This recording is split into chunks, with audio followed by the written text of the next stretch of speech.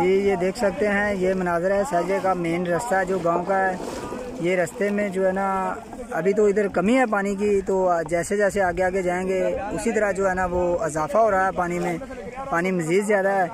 तो हमारे पास कोई तो महकमा नहीं है इधर, ना तो रेस्क्यू पहुँची हुई है। तो गाँव में आने जाने के लिए बहुत मुश्किल थी, जो गाँव के लोग घरों से बाहर थे, या जो दाएँ बाएँ बस्तियाँ वाले लोग थे, जो सब बाहर थे, रास्ते का भी मालूम नहीं है किधर है। तो ये जो टीएलपी के लोग हैं अभी ये अपनी मदद खुद आप कर रहे हैं लोगों के साथ थोड़ा बहुत जो है वो हेल्प कर रहे हैं उनकी तो ये आप देख सकते हैं ये सभी लोग टीएलपी के लगे हुए हैं रास्ते में अपना काम कर रहे हैं रास्ते में जो है ना वो थोड़ा सा रिकवरिंग कर रहे हैं ताकि पता चले कि किधर जा रहे हैं और रास्ता किधर किधर है। ये देख सकते हैं कोई इधर महकमा नहीं है कोई महकमे का काम नहीं है। ये खुद जो टीएलपी वाले हैं वो खुद ही जो काम कर रहे हैं। ये गाँव सहजरा वो पीछे नज़र आ रहा होगा आपको।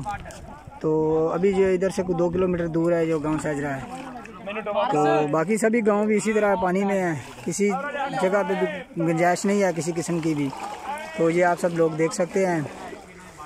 तो अभी अभी तक तो दो दिन हो गया हमारे जो पानी इस तरह मुसलसल चल रहा है। कोई भी महकमा और कोई भी हमारे पास जो है ना, वो नई रेस्क्यू वगैरह पहुँची। तो ये आप देख सकते हैं लोग किधर किधर से कैसे गुजर रहे हैं।